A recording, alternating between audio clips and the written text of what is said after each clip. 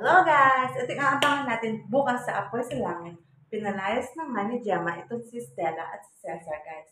Tapos itong si Cesar, kinausap pa rin niya si, si Gemma na patawarin siya. Tao lang siya at nagkakamali din at hindi na ito muling gagawin. Pero si Gemma ayaw niya maniwala. Kasi alam, alam niya na niloko siya. At nalaman din ni Gemma, yung pinagbubuntis ni Stella is ang tatay nun ay si Cesar. Kaya galit na galit at masamang masama yung loob nitong ni Gemma. Tapos si Stella at si Cesar nag-usap sila na wala na sila pakalamanan sa isa't isa kasi dahil kay Stella, nasira yung mga plano nitong ni Cesar guys. So si Cesar galit na din to kay Stella kasi diba nasira yung mga plano nga niya. So yun lamang po. Maraming salamat. Don't forget to subscribe to my YouTube channel po at pakilike na rin po. Maraming salamat.